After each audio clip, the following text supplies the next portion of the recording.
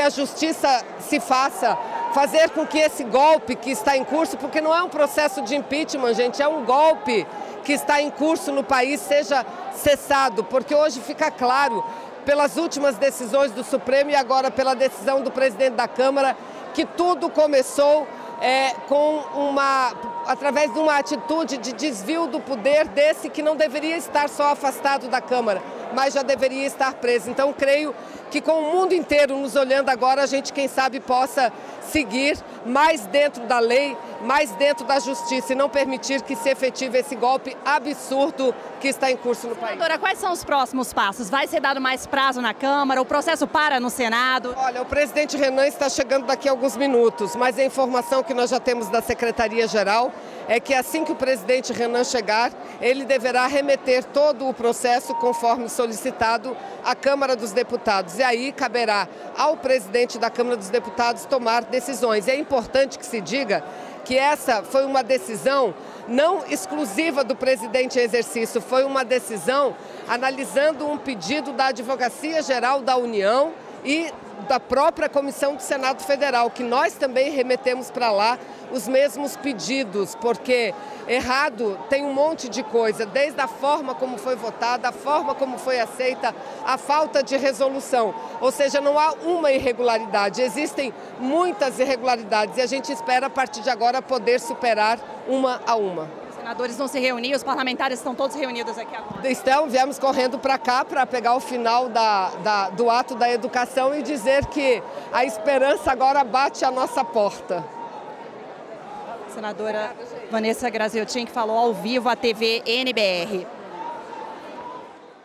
Essa foi a entrevista concedida lá no Palácio do Planalto pela senadora Vanessa Graziotin. E o presidente em exercício da Câmara dos Deputados divulgou há pouco uma nota oficial em que esclarece a decisão tomada por ele nesta segunda-feira. Na nota, Valdir Maranhão ressalta que o presidente da Comissão Especial do Impeachment no Senado, o senador Raimundo Lira, no dia 27 de abril, encaminhou à Câmara dos Deputados ofício em que indagava sobre o andamento de recurso apresentado pela Advocacia Geral da União contra a decisão que autorizou a instauração de processo de impedimento da presidenta Dilma Rousseff. Na nota, Valdir Maranhão afirma que, ao tomar conhecimento do ofício, soube da existência de petição da AGU em que pedia a anulação da sessão realizada pela Câmara dos Deputados nos dias 15, 16 e 17 de abril. Sessão essa em que o plenário aprovou parecer encaminhado pela comissão especial que propunha a abertura de processo contra a presidenta por crime de responsabilidade. Maranhão destaca que, como a petição não havia ainda sido decidida, resolveu acolher em parte as ponderações nela contidas e diz que desacolheu a arguição de nulidade feita em relação aos motivos apresentados pelos deputados no momento da votação, por entender que não ocorreram quaisquer vícios naquelas declarações de voto.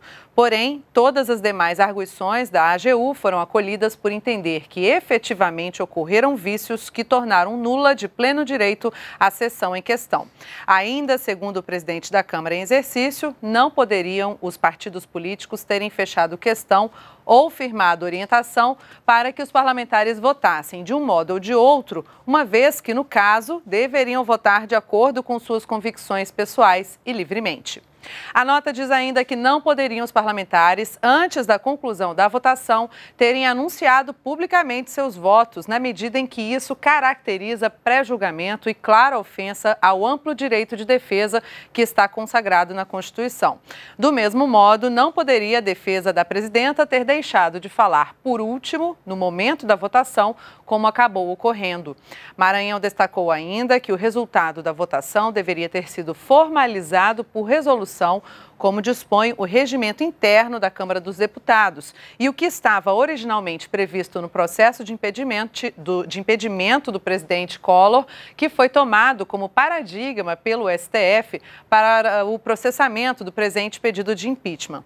Por essas razões, o deputado Valdir Maranhão anulou a sessão e determinou que uma nova sessão seja realizada para deliberar sobre a matéria no prazo de cinco sessões, contados da data em que o processo for devolvido pelo Senado à Câmara dos Deputados. Nós podemos voltar a qualquer momento com outras informações. Continue com a gente, NBR, a TV do Governo Federal.